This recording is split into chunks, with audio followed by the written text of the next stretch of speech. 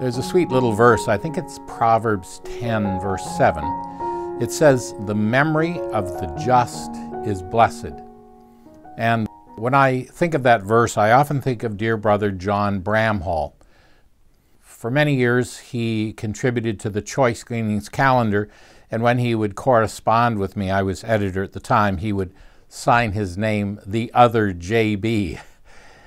I think he was Harold Harper's first convert. Born in England, he came with his parents to the United States. I think he lived in Rochester, New York. And the great evangelist Harold Harper came to their town, and as a young boy, he put his trust in Christ. The Lord called him to uh, preach the gospel in the southern states, and he spent much of his life in the Carolinas and traveling elsewhere, and was a very prolific writer. We compiled a number of his short articles in two books published by Gospel Folio Press called I Am My Beloved's and My Beloved Is Mine. I remember as a young preacher, I was down in Georgia and I had a day free, and Brother Bramhall was also preaching in the area. I took him for a ride in the country. And as we rode along, I said to him, Brother Bramhall, among all the needs of God's people today, what would you say is the greatest need? And he thought only for a moment and he said, JB, what we need today is what we've always needed more devotion to Christ. Anyone who knew John Bramhall would already have been able to guess his answer because that was the ministry of Brother John Bramhall. Well, about 20 years ago, I was asked to compile a book on missionary stories and God's faithfulness to them. And this is the book that was published in those days called God is Faithful.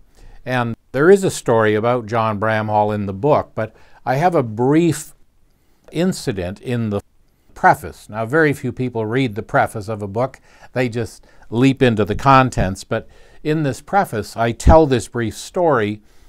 At this time, John Bramhall was in his 100th year, and he sent me this little note that says, I surely can witness to the faithfulness of God through the 70 or more years I have spent in the Lord's work.